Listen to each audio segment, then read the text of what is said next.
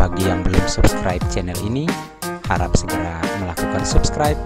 Dan bagi yang sudah subscribe, silakan like, share, dan komen video ini. Saya tunggu ya. 3, 2, 1. Oke, selamat menyaksikan.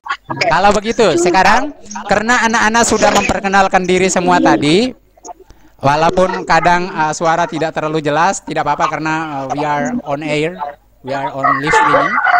Tetapi sekarang nanti Pak Guru akan memberikan kamu tugas ya. Ingat ya, tugas pertama yang harus anak-anak buat adalah mengerjakan lima nomor latihan yang diakses di website. Bagaimana cara aksesnya Pak Guru? Pak Guru akan tunjukkan caranya sebentar ya. Bisa Pak Guru langsung kirimkan link untuk anak-anak kerjakan dan bisa juga nanti Pak Guru akses kasih demo kan melalui uh, live streaming ini. Itu tugas yang pertama.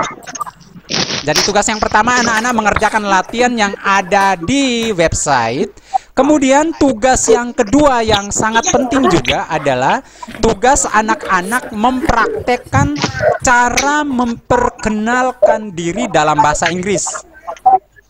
Itu tugas itu kamu harus videokan. Jadi bisa saja kalau HP-nya hanya satu di rumah, anak-anak minta bantuan kakak atau adik atau mama minta bantuan untuk merekam kamu saat kamu lagi memperkenalkan diri dalam bahasa Inggris. Lalu videonya itu kamu kirimkan ke Pak Guru. Mengerti atau tidak? Mengerti. Ya. Oke, kalau begitu sekarang Pak Guru mau tunjukkan cara anak-anak mengerjakan tugas bahasa Inggris di website ya. Lihat ya Pak Guru nanti mau tunjukkan ya. Nah, Suaranya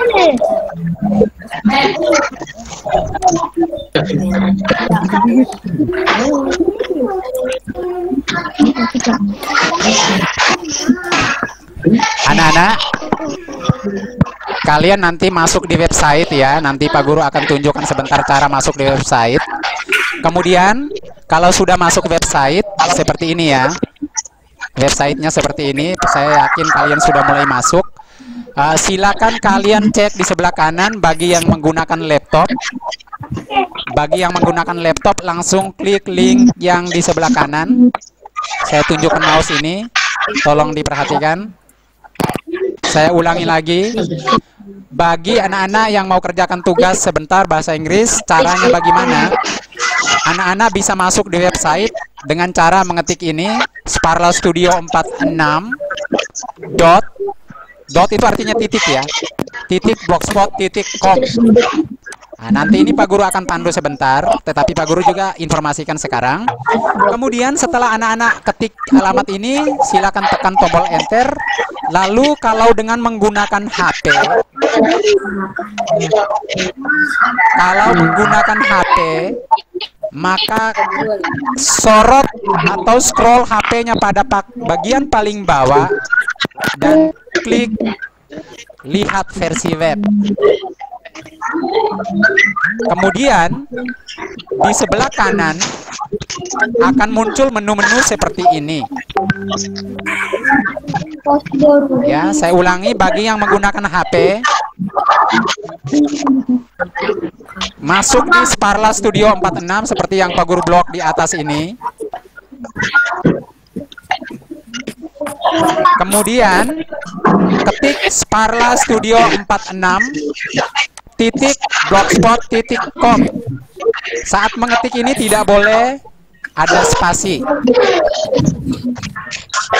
kalau sudah silakan masuk.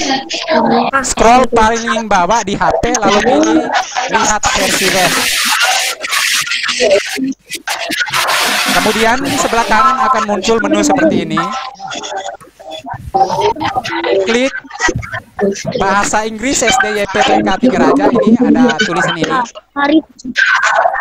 silakan klik di bagian bawahnya pada, pada pilih sesuai topik. Klik seperti ini akan muncul menu